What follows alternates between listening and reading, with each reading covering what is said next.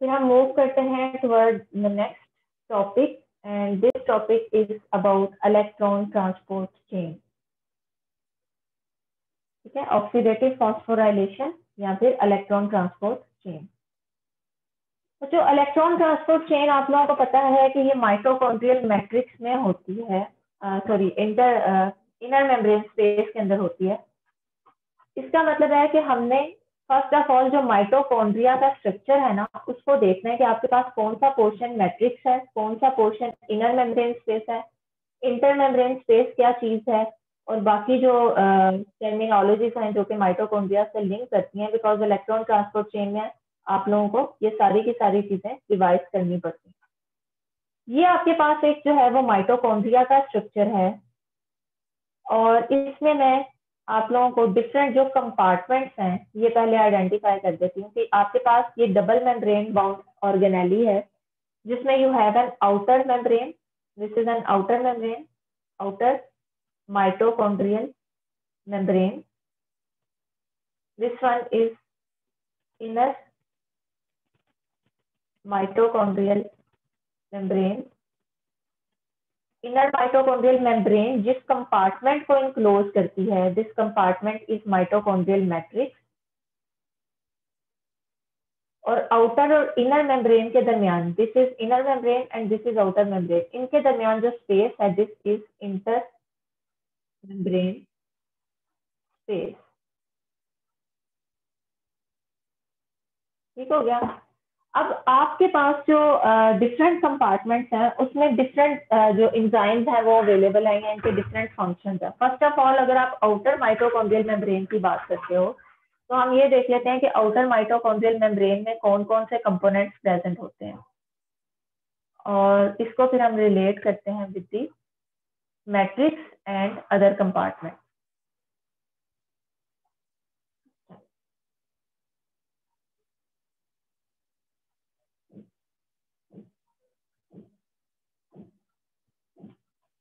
okay mitochondrial matrix में आपके पास बच्चों डिफरेंट एंजाइम्स प्रेजेंट होते हैं, जिसमें आप लोग देखते हो कि आपके मैट्रिक्स के अंदर ही चूँकि टीसीए साइकिल चल रहा होता है, ठीक है? तो आप कह सकते हो कि माइटोकॉन्ड्रियल मैट्रिक्स के अंदर आपके पास एक तरफ़ पीडीएच कॉम्प्लेक्स अवेलेबल होता है, जो कि पायरोवेट को एसिटाइल कोएंजाइम ए के अंदर कन्वर्ट करता है। इसमें आपके पास जो है वो टीसीए साइकिल के एंजाइम्स प्रेजेंट होते हैं। जो कि अल्टीमेटली जो है वो एसिटाइल कोएंजाइम को पिक करते हैं उसको फाइनली जो है वो डीकार्बोक्सिलेशन रिएक्शन के थ्रू से इलेक्ट्रॉन्स निकाल के एनएडीएच और एफ़ में कन्वर्ट करते हैं और एक ऑक्जेलो के मॉलिक्यूल को क्या कर देते हैं? प्रोड्यूस कर देते हैं। तो इसमें आपके पास एंड इफ़ेक्ट है, वो एन और एफ़ की प्रोडक्शन है।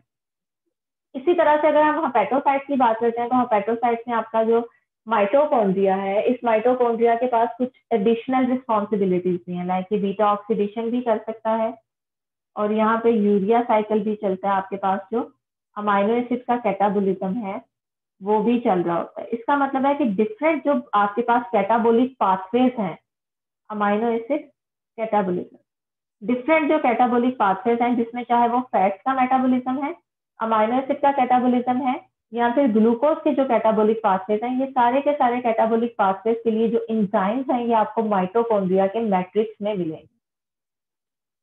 जो इनर मेम्ब्रेन स्पेस है इनर मेम्ब्रेन स्पेस में आपके पास इलेक्ट्रॉन ट्रांसपोर्ट चेन के कॉम्प्लेक्सेस प्रेजेंट होते हैं। एक चीज़ तो बच्चों आपने ये याद रखनी है कि आपकी जो इनर माइटोकॉन्ड्रियल मेम्ब्रेन है इस मेम्ब्रेन का सरफेस एरिया कंपैरेटिवली ज़्यादा है। लाइक like, अगर आप यहाँ पे देखो कि आपके पास अगर माइटोकॉन्ड्रिया में इस तरह का स्ट्रक्चर होता दिस वन आपके पास इनर मेम्ब्रेन में कम पोर्शन आना था। लेकिन एक्चुअली इनर मेम्ब्रेन में आप देख रहे हो कि आपके पास जो इंटरनल पोर्शन है, वो इस तरह से फोल्ड हुआ हुआ है। इसका मतलब है कि आपका ज़्यादा सरफेस एरिया ऑक्यूपाई करने के लिए आपकी जो इनर माइटोकॉन्ड्रियल मेम्ब्रेन है, वो इंटरनल साइड पे इन फोल्डिंग्स बनाती है और इन फोल्डिंग्स को हम क्रिस्टे कहते हैं। ठीक है? तो यहाँ पे आप देख सकते हो कि आपकी जो आउटर माइटोकॉन्ड्रियल मेम्ब्रेन है, ये तो स्मूथ है। लेकिन जो इनर माइटोकॉन्ड्रियल मेम्ब्रेन है, इस इनर माइटोकॉन्ड्रियल मेम्ब्रेन ने अपना सरफेस एरिया इंक्रीज करने के लिए इन फोल्डिंग्स बनाई है और इन फोल्डिंग्स को हम क्रिस्टे कहते हैं। और एक्चुअली यहाँ पे सरफेस एरिया को इंक्रीज करने की ज़रूरत क्यों पेश आई थी? ताकि आपके पास जो इलेक्ट्रॉन ट्रांसपोर्ट चेन है, उससे ज़्यादा से ज़्यादा कॉम्प्लेक्सेस यहाँ पे क्या हो सके एडजस्ट हो सके। तो आपके पास इनर माइटोकॉन्ड्रियल मेम्ब्रेन में इलेक्ट्रॉन ट्रांसपोर्ट चेन के कॉम्प्लेक्सेस और इसके साथ साथ जो एटीपी सिंथेज जो फाइनल एंजाइम है, जो कि एटीपी की प्रोडक्शन में यूज़ होता है, ये प्रेजेंट होते हैं, ठीक है? तो inner mitochondrial membrane contain electron transport chain complexes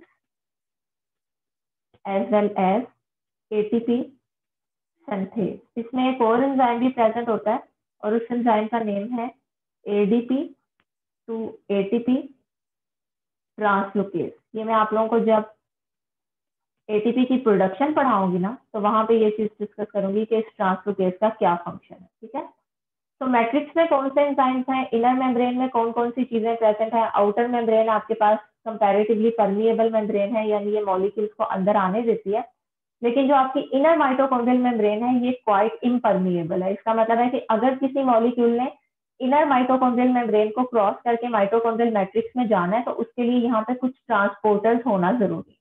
तो आपके पास इनर माइटोकॉन्ड्रियल मेम्ब्रेन में डिफरेंट ट्रांसपोर्टर्स भी प्रेजेंट होते हैं जो कि डिफरेंट टाइप्स ऑफ़ मॉलिक्यूल्स को अं-, अंदर आने की परमिशन देते हैं। जैसे आप लोगों को याद होगा कि ग्लूकोनियोजेनेसिस में मैंने बताया था कि आपका जो एक्जेलोएसिटेट है वो माइटोकॉन्ड्रिया से साइटोसोल में नहीं जा सकता क्यों नहीं जा सकता? बिकॉज़ उसके लिए ट्रांसपोर्टर्स नहीं है। अगर ट्रांसपोर्टर्स नहीं है तो वो यहाँ पे इनर माइटोकॉन्ड्रियल मेम्ब्रेन को क्रॉस नहीं कर सकता। तो हमेशा कोई भी मॉलिक्यूल जिसने एक कंपार्टमेंट से दूसरे कंपार्टमेंट में जाना है, उसके लिए स्पेसिफिक टाइप्स ऑफ़ ट्रांसपोर्टर्स का प्रेजेंट होना इनर माइटोकॉन्ड्रियल मेम्ब्रेन में ज़रूरी है। And the last portion is inter membrane space और ये इंटर मेम्ब्रेन स्पेस एक्चुअली वो स्पेस है जहाँ पे आपके प्रोटॉन्स एक्यूमुलेट होते हैं। जब हम आगे एटीपी सिंथेसिस की बात करेंगे तो वहाँ पे मैं प्रोटॉन मोटिव फोर्स की बात करूँगी। तो उधर आप ये चीज़ ऑब्ज़र्व करोगे कि एक्चुअली इस प्रोटॉन मोटिव फोर्स को प्रोड्यूस करने में आपकी जो इंटर मेम्ब्रेन स्पेस है this space which is present between outer mitochondrial membrane and inner mitochondrial membrane ये इंपॉर्टेंट रोल प्ले करती है बिकॉज़ ये कंपार्टमेंटलाइजेशन का जो प्रोसेस है, उसको करती है। स्ट्रक्चर तो मैंने आप लोगों के सामने एक्सप्लेन कर लिया और इसको आप यहाँ से भी विटनेस कर सकते हो। डेफिनेटली ये जो डिफरेंट ट्रांसलोकेसिस हैं या जो बाकी यहाँ पे इंजाइम्स इन्वॉल्व हैं, इनको जैसे जैसे हम आगे डिफरेंट फ्यूल्स का मेटाबॉलिज्म डिस्कस करेंगे तो हम इन डिटेल पढ़ेंगे। अब नेक्स्ट जो हमने पॉइंट डिस्कस करने हैं एनाटॉमी को आप एक बार स्लाइड से भी देख लीजिएगा।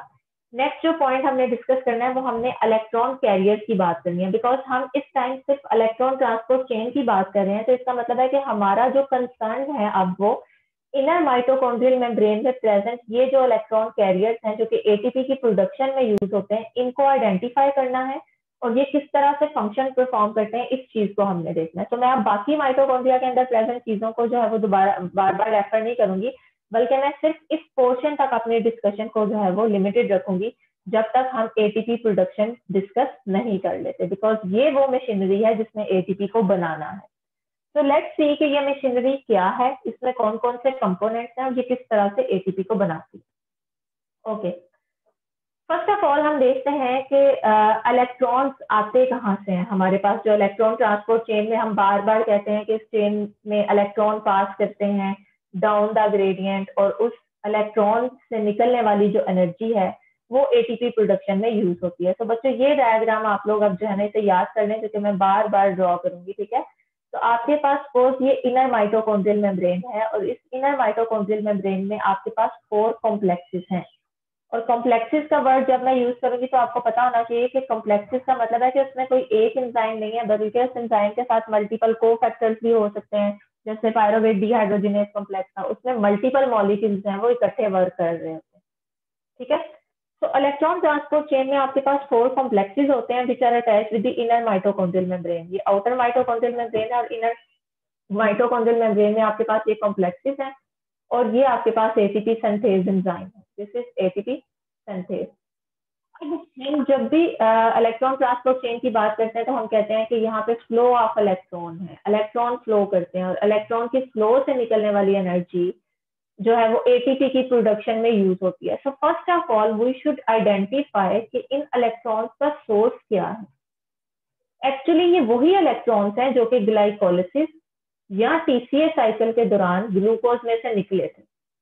और आपने ये पढ़ा था कि ग्लाइकोलिसिस और टीसीए साइकिल में जब भी डिहाइड्रोजिनेशन होती थी तो इंजाइम्स इतने इकोनॉमिकल थे इंजाइम्स इतने एफिशिएंट थे कि उस टाइम उन्होंने उन इलेक्ट्रॉन्स को कहीं वेस्ट नहीं होने दिया, बल्कि उन इलेक्ट्रॉन्स को या तो हाइड्राइड आयन की फॉर्म में उन्होंने एन प्लस को पकड़ा दिया था कि ये पकड़ के रखो, आगे इलेक्ट्रॉन ट्रांसपोर्ट चेन में यूज़ होने।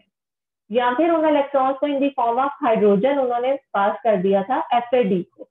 तो यही जो इलेक्ट्रॉन या हाइड्रोजन कैरियर्स हैं, ये अब इलेक्ट्रॉन ट्रांसपोर्ट चेन में आएँगे और वो इलेक्ट्रॉन जो कि पीछे वाले एंजाइम्स ने इनके पास रखवाए थे, उन इलेक्ट्रॉन्स को ये रिलीज़ करेंगे। ठीक है?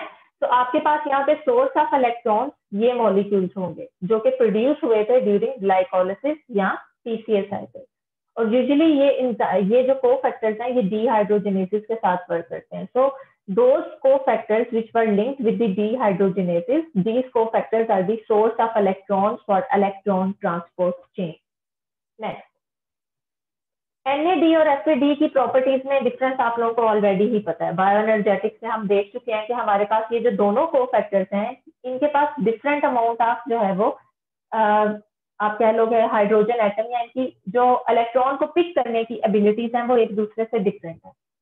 एन ए डी प्लस भी जो है, वो मॉलिकुलर हाइड्रोजन को पिक करता है और N A D N A D भी मॉलिकुलर हाइड्रोजन को पिक करता है, लेकिन अपने स्ट्रक्चर के अंदर Na प्लस सिर्फ़ हाइड्राइड आइन को ऐड करवाता है। यानी आपके पास जब भी Na के स्ट्रक्चर को देखोगे तो उसमें दो इलेक्ट्रॉन और एक प्रोटॉन प्रेजेंट होगा। ठीक है? जबकि एफ़ ए डी के स्ट्रक्चर को जब आप एक्सप्लोर करोगे तो आप देखोगे कि इसमें पूरे का पूरा molecular hydrogen which is a combination of two protons and two electron ये दोनों इसके अंदर प्रेजेंट है। ठीक है?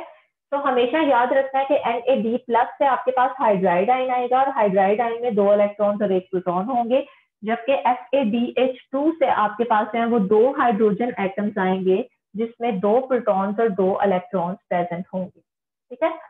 तो ये चीज़ आप लोग दोबारा एक बार देख लीजिएगा। और दूसरी बात मैंने आप लोगों को जो बताई थी वो ये थी कि आपके पास जो एन ए डी और N A D P H है, ये वाटर सोलेबल इलेक्ट्रॉन कैरियर्स हैं, जबकि एफ़ ए डी की अगर आप बात करते हो तो एफ़ ए डी आपके पास जो है ये प्रोटीन के साथ कोवलेंटली अटैच होता है। और जिन प्रोटीन्स के साथ एफ़ ए डी अटैच होता है, उन प्रोटीन्स को हम कहते हैं कि these are the flavo protein तो फ्लेवो प्रोटीन ऐसी प्रोटीन्स हैं जो कि एन ए डी की बजाय FAD को अपने साथ कोवलेंटली अटैच करते हैं। और इसमें एक एग्ज़ाम्पल आपने पिछले जो पीसीए साइकिल है, उसमें पढ़ी थी विच वॉज़ सुक्सीनाइल को इंजाइम ए डी हाइड्रोजिनेट ठीक है? जो सुक्सीनेट को फ्यूमारेट में कन्वर्ट करता था। ठीक है?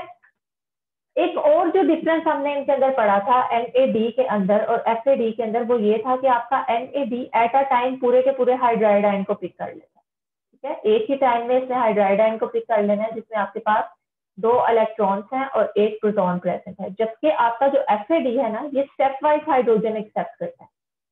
सपोज़ अगर सेल के पास उस टाइम दो हाइड्रोजन नहीं है तो ये हम यहाँ पे जो है वो मैनेज कर लेगा कंप्रोमाइज कर लेगा और एफ़ में कन्वर्ट हो जाएगा which is the partially reduce form partially reduce form को हम सेमी क्यूनोन कहते हैं। ठीक है? अब जब कंडीशन फेवरेबल होंगी मजीद एक हाइड्रोजन आएगा तो चूँकि इसके पास अभी एक एक हाइड्रोजन की जगह है ये उसे पिक कर सकता है। तो ये उस हाइड्रोजन को भी पिक कर लेगा और कन्वर्ट हो जाएगा F A D H two तो आपके पास जो एफ़ ए डी में हाइड्रोजन आयन की एक्सेप्टेंस है, ये स्टेप वाइज होती है। पहले एक हाइड्रोजन आयन आएगा और आपके पास जो एफ़ ए डी है, ये अपनी पार्शली रिड्यूस फॉर्म या सेमी क्यूनॉन में चला जाएगा और पार्शली रिड्यूस फॉर्म को हम कहते हैं कि this is F A D H और जब दूसरा इलेक्ट्रॉन पिक करेगा, दूसरा हाइड्रोजन पिक करेगा तो दूसरा हाइड्रोजन पिक करने के बाद ये अपनी फुली रिड्यूस फॉर्म में चला जाएगा और इसकी जो फुली रिड्यूस फॉर्म है उसको हम सेमी क्यूनोल कहते हैं और फुली रिड्यूस फॉर्म को हम S A D H two से रिप्रेजेंट करते हैं। ये कुछ ऐसे पॉइंट्स थे जो कि आप लोगों को रिकॉल करना ज़रूरी थे अगर आपने इलेक्ट्रॉन ट्रांसपोर्ट चेन में दोबारा इन इलेक्ट्रॉन कैरियर्स को देखना। है बिकॉज़ मैंने अभी ये बात की है कि आपकी इलेक्ट्रॉन ट्रांसपोर्ट चेन स्टार्ट ही इन दो कैरियर से होगी। बिकॉज़ सोर्स ऑफ़ इलेक्ट्रॉन ये ही दो कैरियर्स हैं। तो आप लोगों को एक बार एक बार दोबारा ये चीज़ रिवाइज कराने का मकसद ये था कि आप लोगों को पता चल जाए कि इन कैरियर्स में कितने कितने इलेक्ट्रॉन्स हैं कितने कितने प्रोटॉन्स हैं और ये किस तरह से प्रोड्यूस हुए ठीक है?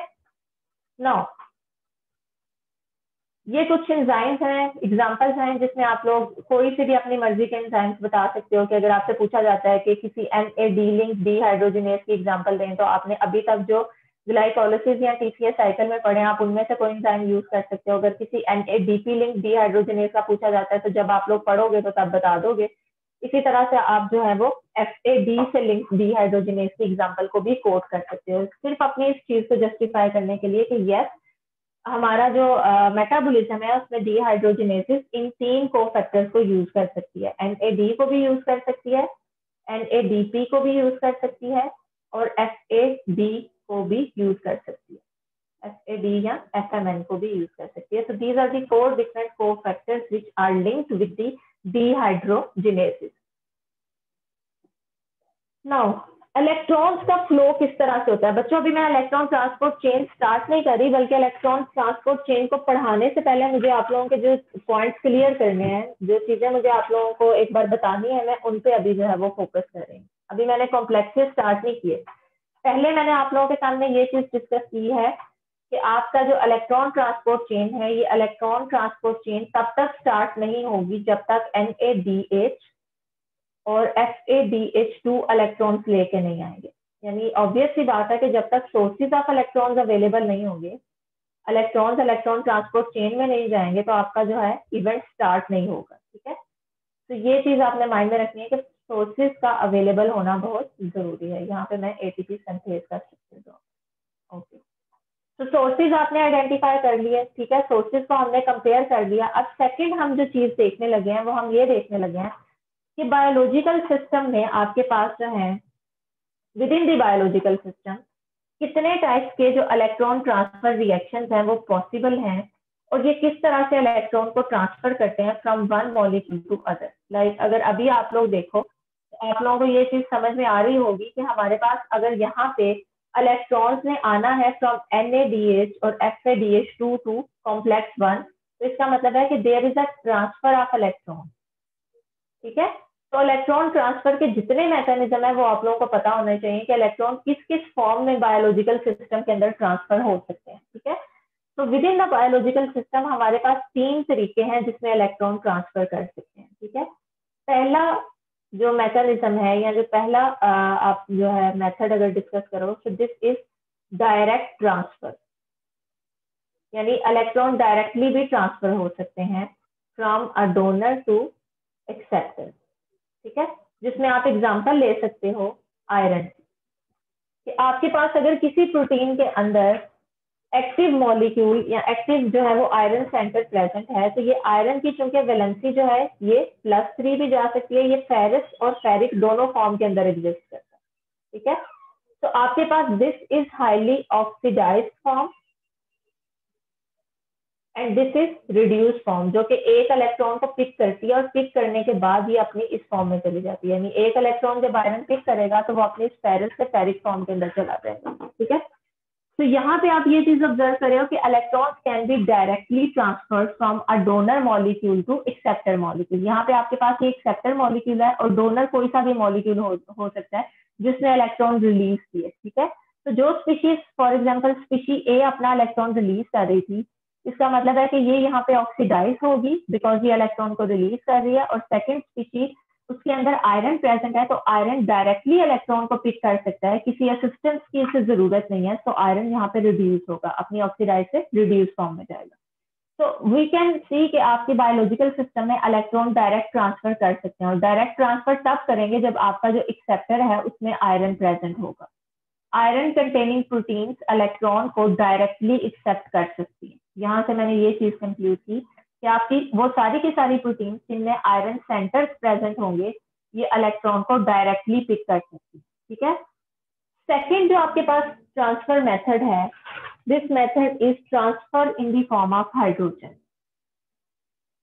transfer in the form of hydrogen atom okay आपके बायोलॉजिकल सिस्टम के अंदर कुछ प्रोटीन्स ऐसी हैं जो कि इलेक्ट्रॉन को अकेले पिक नहीं करती, बल्कि इलेक्ट्रॉन के साथ साथ उन्हें प्रोटॉन भी चाहिए।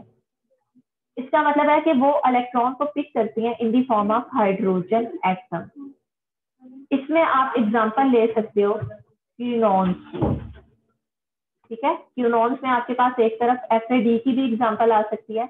एफ़ कभी भी इलेक्ट्रॉन को जो है वो इंडिविजुअली पिक नहीं करेगा, बल्कि हमेशा इलेक्ट्रॉन विद प्रोटॉन पिक करेगा, या इन अदर वर्ड वो हाइड्रोजन एटम की फॉर्म में इलेक्ट्रॉन को पिक करता है, और एफ़ ए डी से एफ़ ए डी एच में चला जाता है, या F A D H two में चला जाता है। सेकेंड आपके पास यहाँ पे एग्जाम्पल्स आ जाती हैं को एंजाइम क्यू की, जो कि हम इलेक्ट्रॉन ट्रांसपोर्ट चेन में डिस्कस करेंगे। ये भी इलेक्ट्रॉन को पिक करते हैं, लेकिन अकेले नहीं, बल्कि in combination with proton which means in the form of hydrogen atom so there are some proteins which can accept electrons individually they can accept direct uh, यहाँ पे direct transfer mechanism है they can accept electrons directly उसके लिए इनको proton की ज़रूरत नहीं है but there are some protein some carrier some molecule जो कि इलेक्ट्रॉन को इंडिविजुअली पिक नहीं करते बल्कि इलेक्ट्रॉन को पिक करने के लिए इन्हें साथ में प्रोटॉन भी रिक्वायर्ड होता है So these proteins can accept electron in the form of hydrogen atom. So second type of transfer mechanism is transfer of electron in the form of hydrogen. It means कि अगर आपके किसी molecule में hydrogen release करना है तो वो अकेला हाइड्रोजन रिलीज़ नहीं करेगा, बल्कि हाइड्रोजन को सॉरी इलेक्ट्रॉन अगर किसी स्पीशी ने इलेक्ट्रॉन को रिलीज़ करना है तो वो इलेक्ट्रॉन को अकेला रिलीज़ नहीं करेगा बिकॉज़ यहाँ पे डायरेक्ट ट्रांसफ़र मैकेनिज्म नहीं है आपका जो एफ़ है, उसने हाइड्रोजन को इलेक्ट्रॉन को तब तक पिक नहीं करना जब तक इलेक्ट्रॉन के साथ साथ एक प्रोटॉन ना हो तो मिनिमम यहाँ पे जो रिलीज़ होगा इस स्पीशीज से, वो इलेक्ट्रॉन के साथ साथ प्रोटॉन भी होगा।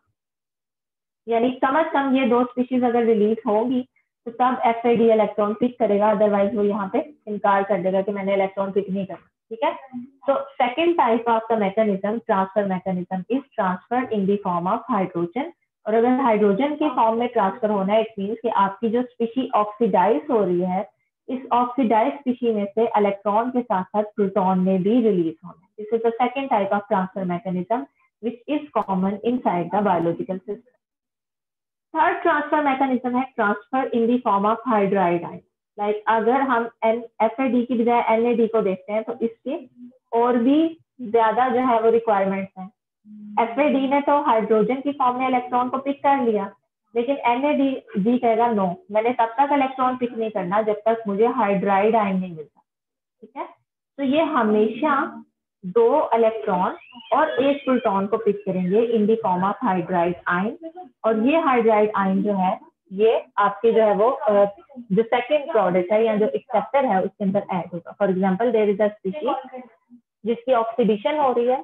अगर ये ऑक्सीडाइज होगी इट मीन्स कि ये अकेले इलेक्ट्रॉन रिलीज़ नहीं कर सकती। बल्कि दो इलेक्ट्रॉन रिलीज़ करेगी साथ में दो प्रोटॉन रिलीज़ करेगी और इस केस में आपका ये जो पोर्शन है combination of two electron and one and it will be will to the N A NAD plus और उसे रिड्यूस करके किसमें कन्वर्ट कर देगा? एन ए डी एच में। तो इलेक्ट्रॉन ट्रांसपोर्ट चेन को डिस्कस करने से पहले आप लोगों ने ये चीज़ देखी कि आपके पास इलेक्ट्रॉन ट्रांसपोर्ट चेन में जो कॉम्प्लेक्सेस हैं, उन कॉम्प्लेक्सेस तक जो इलेक्ट्रॉन्स आने हैं, वो कहाँ से आने हैं? और दूसरा मैकेनिज्म जो मैंने आप लोगों के सामने यहाँ पे बताया दूसरा पॉइंट जो मैंने डिस्कस किया वो मैंने ये कहा है कि बायोलॉजिकल सिस्टम के अंदर इलेक्ट्रॉन्स ने अगर फ्लो करना है तो वो कितने मैकेनिज्म के थ्रू फ्लो कर सकते हैं? डायरेक्ट भी फ्लो कर सकते हैं बट डायरेक्ट फ्लो करने के लिए आपकी प्रोटीन के अंदर आयरन सेंटर्स का प्रेजेंट होना ज़रूरी है। Electrons can be transferred in the form of hydrogen atom और हाइड्राइडाइन लेकिन इस केस में आपका इलेक्ट्रॉन अकेला रिलीज़ नहीं होगा, बल्कि electron in the form of hydrogen atom या मॉलिक्यूलर हाइड्रोजन रिलीज़ होगा। ठीक है? जी बच्चों, यहाँ तक कोई कंफ्यूजन नो मैम तो इलेक्ट्रॉन ट्रांसपोर्ट चेन में हमने सोर्सेज भी आइडेंटिफाई कर लिए और ट्रांसफ़र मैकेनिज्म को भी देख लिया। लेकिन अब हमें ये भी तो देखना है कि यहाँ पे ये जो कॉम्प्लेक्सेस है, ये कॉम्प्लेक्सेस क्या चीज़ है? इन कॉम्प्लेक्सेस को भी आइडेंटिफाई करना है। और उसके बाद हम जो है वो प्रॉपर मैकेनिज्म की तरफ़ चलेंगे कि ये कॉम्प्लेक्सेस किस तरह से एटीपी बनाते हैं। इलेक्ट्रॉन ट्रांसपोर्ट चेन में बच्चों, जब आप लोग इन कॉम्प्लेक्सेस को देखोगे ना कॉम्प्लेक्स वन कॉम्प्लेक्स टू और कॉम्प्लेक्स थ्री फोर तक ऑब्वियसली तो आप ये चीज़ आइडेंटिफाई करोगे कि इन कॉम्प्लेक्सेस के अंदर कुछ इलेक्ट्रॉन कैरियर्स प्रेजेंट होते हैं। वन टू थ्री मैं थ्री ही अभी बता रही हूँ। फ़र्स्ट ऑफ़ ऑल तो आपके पास यहाँ पे ये चीज़ आपने देखी कि एन ए डी एच या फिर F A D H two electrons को लेके आएँगे और वो इलेक्ट्रॉन्स को यहाँ पे पास कर देंगे। लेकिन ये स्पीशीज तब तक इलेक्ट्रॉन पिक नहीं ना कर सकती जब तक यहाँ पे कोई इलेक्ट्रॉन एक्सेप्टर प्रेजेंट ना हो। तो हमारे पास हर कॉम्प्लेक्स के अंदर भी कुछ इलेक्ट्रॉन कैरियर्स होते हैं जो कि टेम्परेली इलेक्ट्रॉन को कैरी करते हैं और फिर इस इलेक्ट्रॉन को पास कर देते हैं from one complex to other तो लेट्स सी कि आपके जो ये कॉम्प्लेक्सेस हैं, इसमें कौन कौन से इलेक्ट्रॉन कैरियर्स प्रेजेंट हैं और ये वहाँ पे जो है वो क्या क्या फ़ंक्शन परफॉर्म करते हैं। इस चीज़ को देख लेते हैं। Like within the biological system या within electron transport chain आप कुछ कॉम्प्लेक्सेस को, कुछ इलेक्ट्रॉन कैरियर्स को इनकाउंटर करोगे, जिसमें पहला आपका जो इलेक्ट्रॉन कैरियर है दिस इज़ यूबी क्विनोन जिनको आप को एंजाइम क्यू भी कहते हो। को एंजाइम क्यू बच्चों, ये बड़े ध्यान से हर एक कॉम्प्लेक्स की जो स्पेशलिटी है, वो आपकी फिंगर टिप्स पे होनी चाहिए। मैं आपको ये कह रही हूँ कि आपके जो डिफरेंट कॉम्प्लेक्सेस हैं, इन कॉम्प्लेक्सेस के अंदर मजीद कुछ इलेक्ट्रॉन कैरियर्स होते हैं। वो कौन कौन से इलेक्ट्रॉन कैरियर्स हैं और ये कितने इलेक्ट्रॉन्स को पिक कर सकते हैं और किस फॉर्म में पिक कर सकते हैं? जैसे अभी मैंने बताया ना कि इलेक्ट्रॉन्स को डिफरेंट फॉर्म्स में पिक करते हैं कुछ कैरियर्स या तो डायरेक्टली या फिर in the form of hydrogen atom या फिर in the form of hydride atom तो यहाँ पे आपने ये क्लियर करना है कि इलेक्ट्रॉन ट्रांसपोर्ट चेन में यूज़ होने वाले कैरियर्स कितने इलेक्ट्रॉन्स को पिक करते हैं? पहला पॉइंट कि कितने इलेक्ट्रॉन्स हैं और किस मैकेनिज्म के थ्रू ये पिक करेंगे। ये दो चीज़ें आप लोगों ने क्लियर करनी है। तो पहला कैरियर मैंने आप लोगों को बताया यूबिक्यूनॉन जिसको हम को इंजाइम क्यू भी कहते हैं। यूबिक्यूनॉन यूजली टू इलेक्ट्रॉन्स को एक्सेप्ट करता है। पहली चीज़ आप यहाँ पे ये देखोगे कि ubiquinone is the carrier of two electron maximum two electron लेकिन ये इलेक्ट्रॉन्स को हमेशा हाइड्रोजन एटम की फॉर्म में एक्सेप्ट करता है। ये इलेक्ट्रॉन को डायरेक्टली एक्सेप्ट नहीं करेगा। ये यहाँ पे डायरेक्ट ट्रांसफ़र ऑफ़ इलेक्ट्रॉन नहीं होगा, बल्कि इलेक्ट्रॉन को हमेशा जो है ये एक्सेप्ट करेगा in the form of hydrogen atom अब, इन्हीं यूबिक्यूनॉन में हमारे पास जो कोइंसाइन क्यू है, इसकी ये स्पेशलिटी है कि just like F A D molecule ये भी इलेक्ट्रॉन्स को एक सीक्वेंस में एक्सेप्ट करता है। यानी लाइक अगर मैं यहाँ पे कोइंसाइन क्यू का स्ट्रक्चर ड्रॉ करती हूँ, या वैसे मैं बता देती हूँ तो फ़र्स्ट ऑफ़ ऑल ये एक हाइड्रोजन को एक्सेप्ट करेगा बिकॉज़ ये इलेक्ट्रॉन को हाइड्रोजन की फॉर्म में एक्सेप्ट करता है हाइड्रोजन के अलावा एक्सेप्ट नहीं करता इसका मतलब है कि जब एक हाइड्रोजन को एक्सेप्ट करेगा तो इसका मतलब है कि इस टाइम ये एक इलेक्ट्रॉन को एक्सेप्ट करेगा। ठीक है? एक इलेक्ट्रॉन को एक्सेप्ट करने के बाद ये अपनी पार्शली रिड्यूस फॉर्म में चला जाएगा। और अभी थोड़ी देर पहले मैंने आपको बताया कि जितने भी क्यू नोन्स हैं, इनकी जो पार्शली रिड्यूस फॉर्म होती है, उस रिड्यूस फॉर्म को हम कहते हैं सेमी क्यूनोन एफ़ डी भी एक क्यूनोन फैमिली से बिलोंग करता है, इसलिए ये वाला मैकेनिज्म इसके ऊपर भी अप्लाई होता है। लेकिन एफ़ को मैं यहाँ पे ये नहीं कह रही कि ये इलेक्ट्रॉन ट्रांसपोर्ट चेन में यूज़ हो रहा है, बल्कि मैं यहाँ पे आप लोगों को एफ़ डी का सेपरेटली बता दिया मैं उन कॉम्प्लेक्सिस की या उन कैरियर्स की बात कर रही हूँ जो कि इन कॉम्प्लेक्सिस का पार्ट है। वो इलेक्ट्रॉन कैरियर्स डिस्कस कर रही है जो कि इन कॉम्प्लेक्सिस के अंदर प्रेजेंट है। ओके. अगर तो ये एक इलेक्ट्रॉन को पिक करेगा तो ये अपनी पार्शली रिड्यूस फॉर्म में चला जाएगा और ये याद रखिएगा कि हमेशा पार्शली रिड्यूस फॉर्म में मजीद एक इलेक्ट्रॉन की स्पेस अवेलेबल रहती है।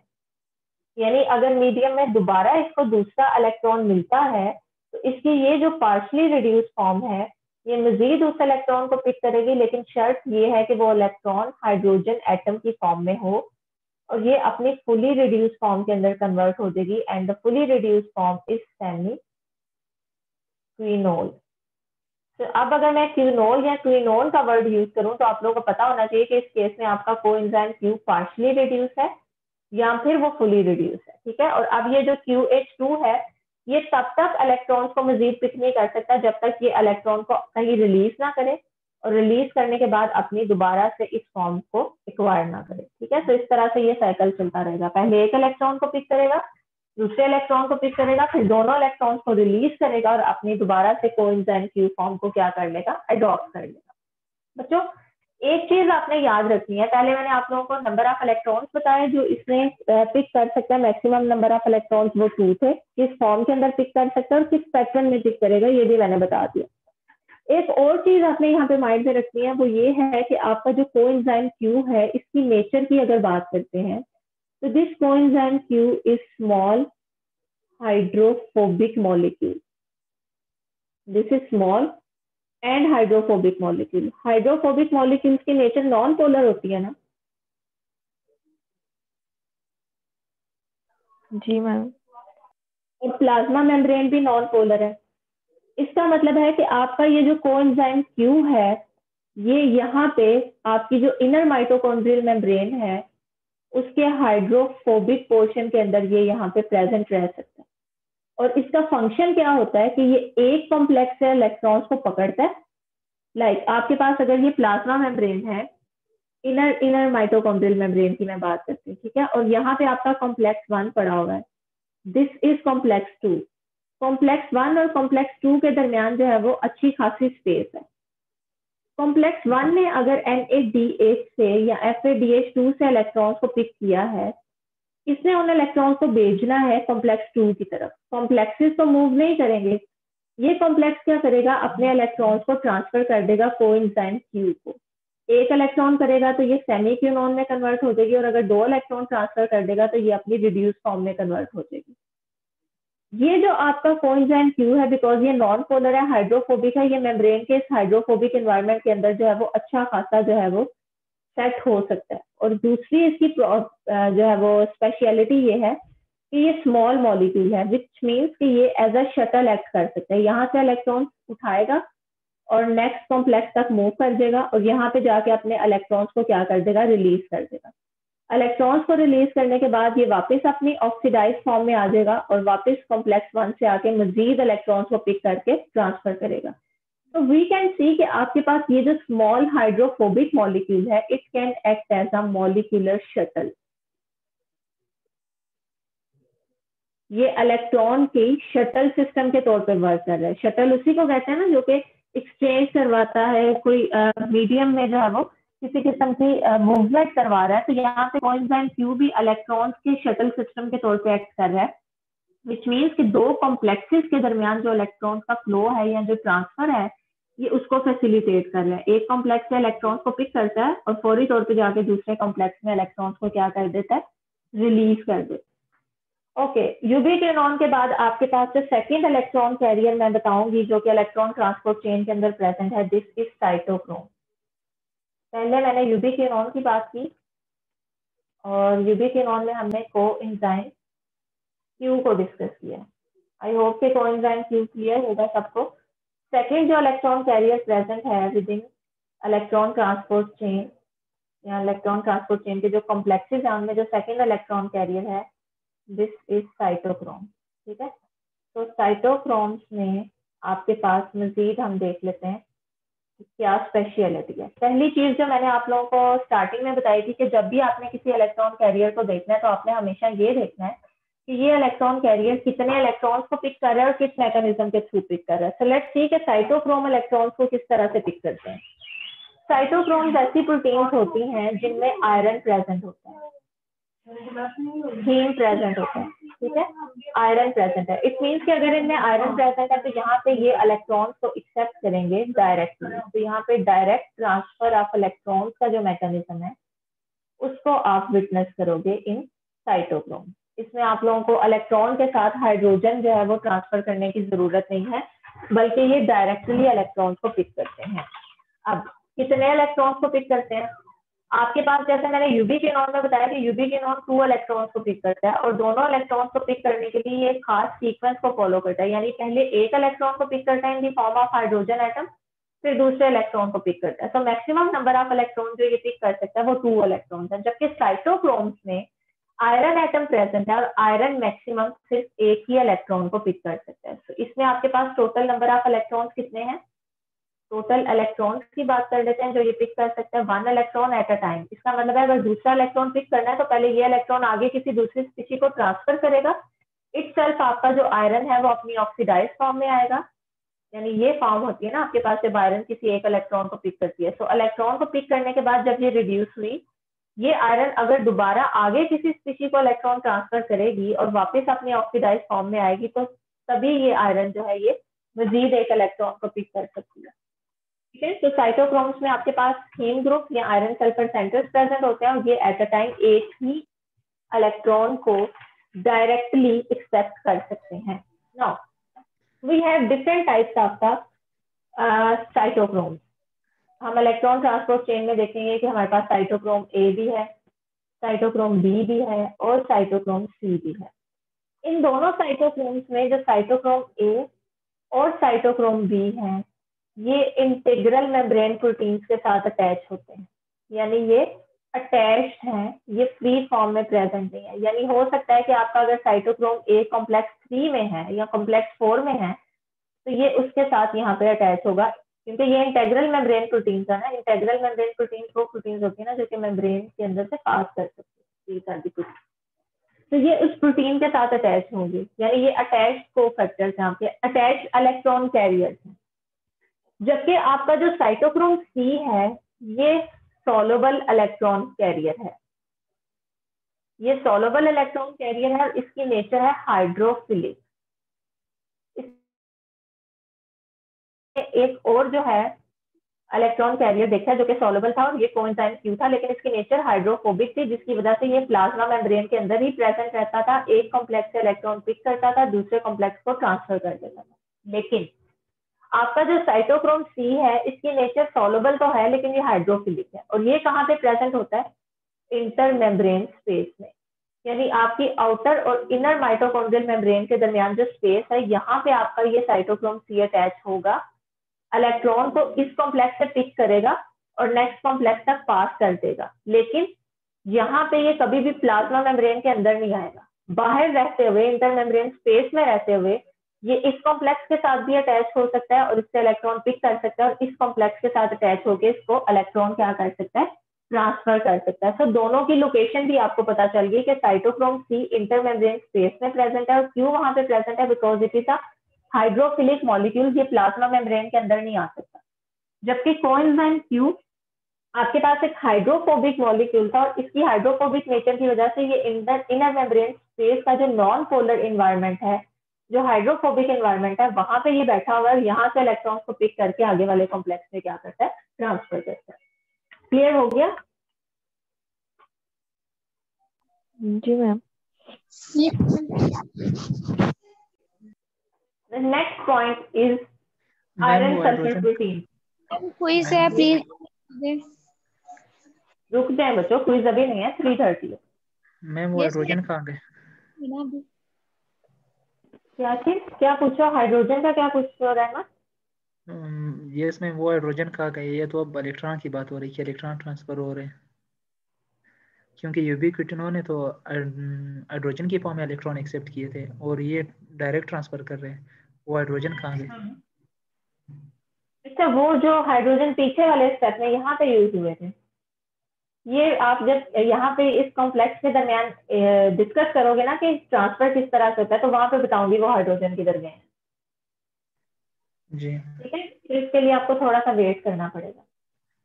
ओके नेक्स्ट है आपके पास थर्ड इलेक्ट्रॉन कैरियर की टाइप जिसमें आयरन सल्फ़र प्रोटीन आती हैं। बच्चों, पहले मैं स्लाइड से कुछ चीज़ें आप लोगों को एक बार रिवाइज करा देती हूँ और उसके बाद आप लोग जो है वो आयरन सल्फ़र प्रोटीन की तरफ़ जाओगे। फ़र्स्ट ऑफ़ ऑल मैंने यूबीक्यूनोन की बात की, जिसमें कोइंजाइम क्यू की एग्ज़ाम्पल मैंने दी और ये मैंने बताया कि ये क्यूनोन है जो कि आपके मैक्सिमम टू इलेक्ट्रॉन को पिक कर सकता है, लेकिन एक टाइम पे एक इलेक्ट्रॉन को पिक करेगा। अगर एक इलेक्ट्रॉन को पिक करता है तो अपनी सेमी क्यूनोन यानी पार्शली ऑक्सीडाइज फॉर्म में चला जाता है। और जब मजीद एक इलेक्ट्रॉन को पिक करेगा तो अपनी फुली रिड्यूस या सेमी क्यूनोल फॉर्म के अंदर चला जाएगा। ये स्मॉल मॉलिक्यूल है हाइड्रोफोबिक इन नेचर है, इसका मतलब है ये डिफ्यूजेबल भी है, ये प्लाज्मा आपकी जो इनर माइटोकॉन्ड्रियल मेम्ब्रेन है, उसमें प्रेजेंट होता है। और एज ए शटल सिस्टम के तौर पे एक्ट करते हुए रिड्यूसिंग इक्विलेंट को, यानी इलेक्ट्रॉन्स और प्रोटॉन्स को ट्रांसफ़र कर देता है एक कॉम्प्लेक्स से दूसरे कॉम्प्लेक्स तक। जिसमें आप यहाँ पे देख सकते हो कि ये कोएंजाइम क्यू क्यू का स्ट्रक्चर है और आप देख सकते हो कि ये इलेक्ट्रॉन के साथ साथ प्रोटॉन को भी अपने स्ट्रक्चर में इनकारपोरेट करता है। एक इलेक्ट्रॉन एक प्रोटॉन देन सेकंड इलेक्ट्रॉन और सेकंड प्रोटॉन आपके पूरे के पूरे स्ट्रक्चर को फुली रिड्यूस कर देगा, ठीक है? सेकंड मैंने आप लोगों के सामने साइटोक्रोम्स डिस्कस किया और साइटोक्रोम से मैंने आप लोगों को कहा है कि इनके अंदर हीम प्रेजेंट होता है, इनमें यूजली आपके पास आयरन प्रेजेंट होता है, ठीक है?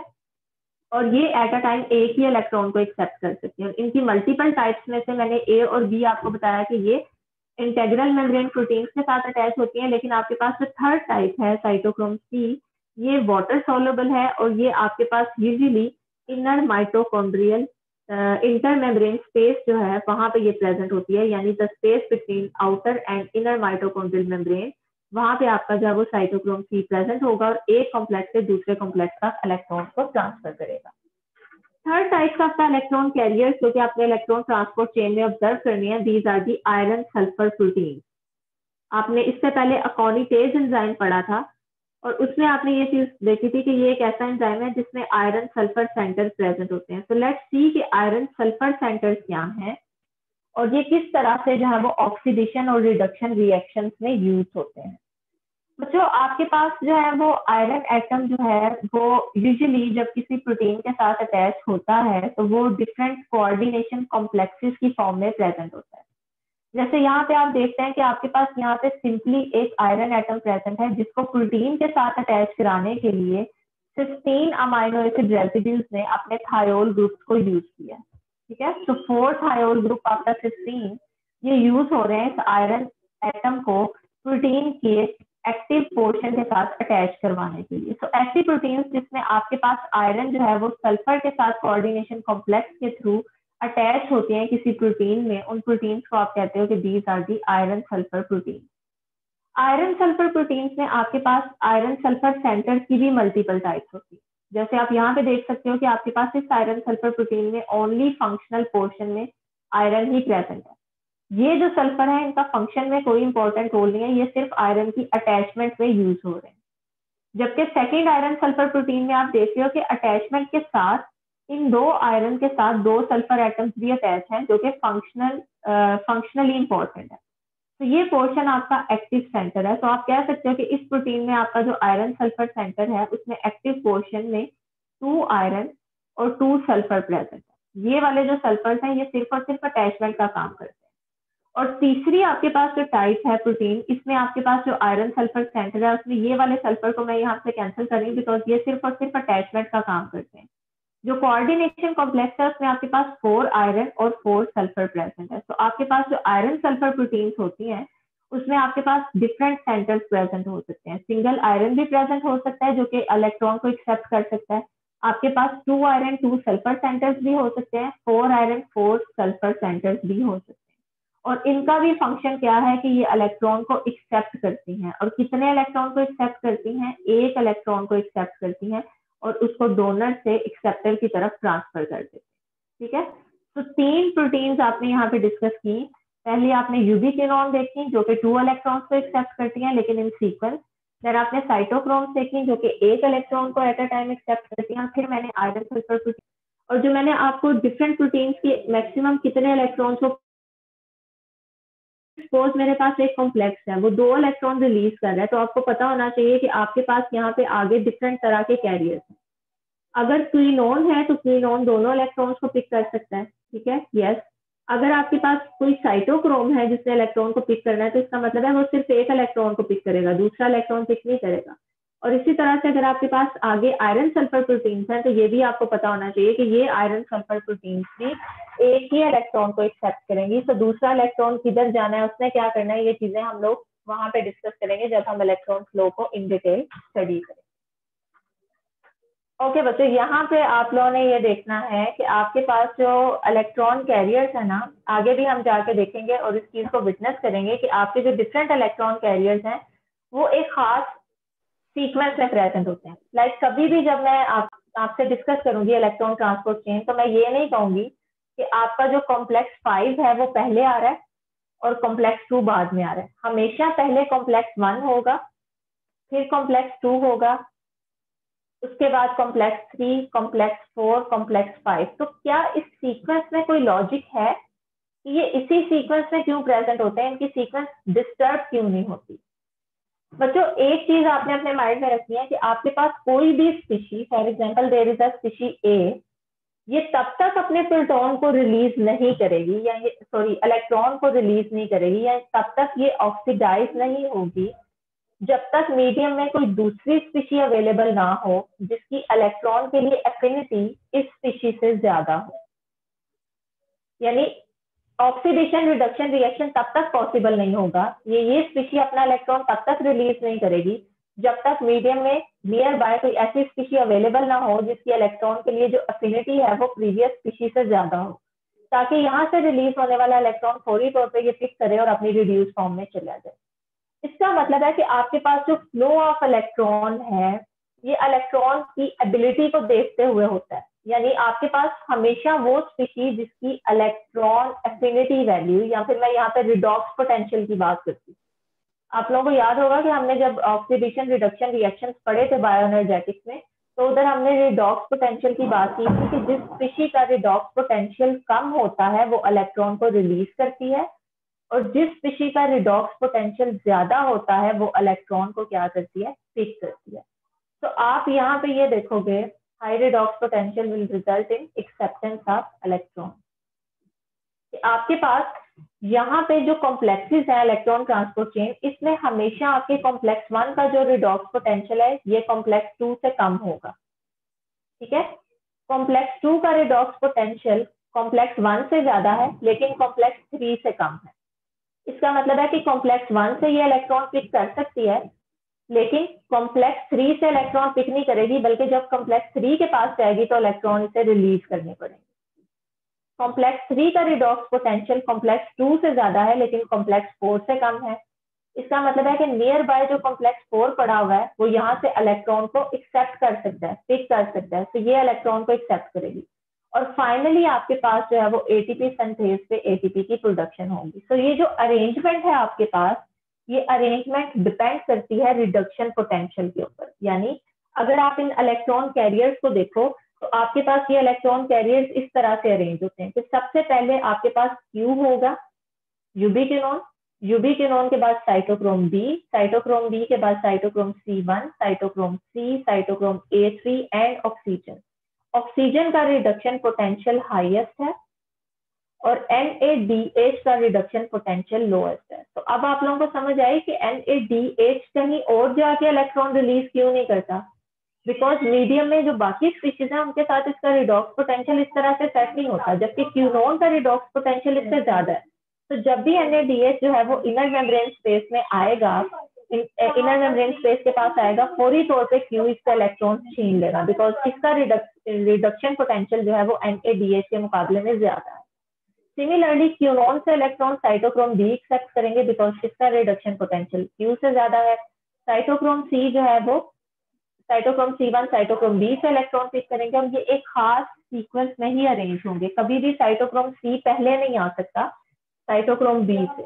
बिकॉज़ आपके पास यहाँ पे अगर ऑर्डर डिस्टर्ब हो गया तो उससे जो है वो आपकी इलेक्ट्रॉन ट्रांसफ़र मैकेनिज्म भी डिस्टर्ब होंगे। और जो लास्ट पॉइंट आपने माइंड में रखना है वो ये है कि अगर आपके पास कोई ऐसी स्पीशी है, कोई ऐसा इनहिबिटर है जो कि इलेक्ट्रॉन ट्रांसपोर्ट चेन में डिफरेंट कैरियर के दरमियान इलेक्ट्रॉन फ्लो को ब्लॉक कर दे, इसका मतलब है कि आपकी रेस्पायरेशन रुक जाएगी एटीपी प्रोडक्शन क्या हो जाएगी? ब्लॉक हो जाएगी। ठीक है? बिकॉज़ इलेक्ट्रॉन के फ्लोर से निकलने वाली एनर्जी प्रोटॉन पंपिंग करेगी और ये प्रोटॉन पंपिंग से जो एनर्जी प्रोड्यूस होगी, इसको यूज़ करते हुए एटीपी सिंथेज ने एटीपी बनाना तो if there is no flow of electron there is no proton pumping proton pumping नहीं है तो प्रोटॉन मोटिव फोर्स नहीं होगी और प्रोटॉन मोटिव फोर्स नहीं होगी तो एटीपी की प्रोडक्शन नहीं होगी। ये सारी चीज़ें मैं आने वाले लेक्चर्स में इनको दोबारा को रिलेट करूँगी, आपको बताऊँगी कि ये एक्चुअली किस तरह से होता है, लेकिन अभी आप लोगों ने नेक्स्ट लेक्चर में इसका ओवरव्यू देख के आना है। पढ़ के आना है ताकि नेक्स्ट लेक्चर के जो हैवी हैवी पॉइंट्स हैं वो आप लोग एब्जॉर्व कर सकें। समझ आ गई है? जी मैम